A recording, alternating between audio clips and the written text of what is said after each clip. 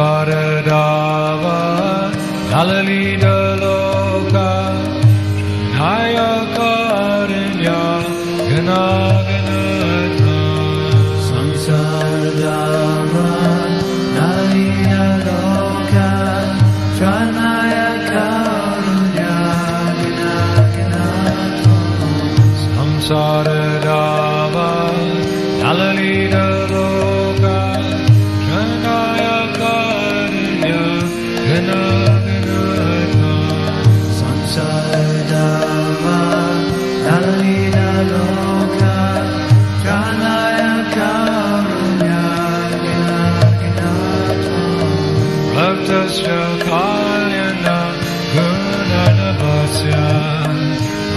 Ande Guru Shri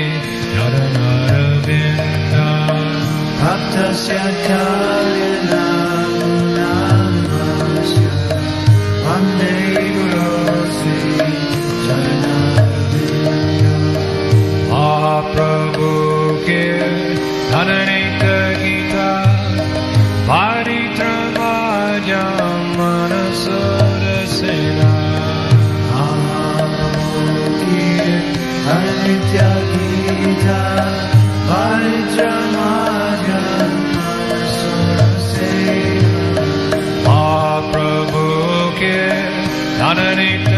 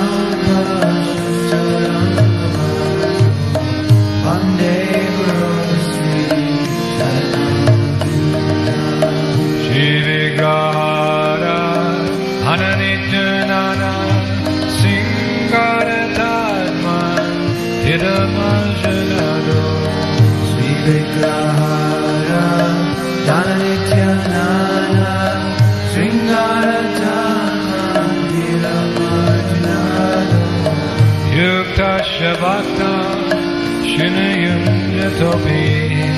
Ande Guru Shri Haranaravinda Yuktasya bhaktam sanjatopi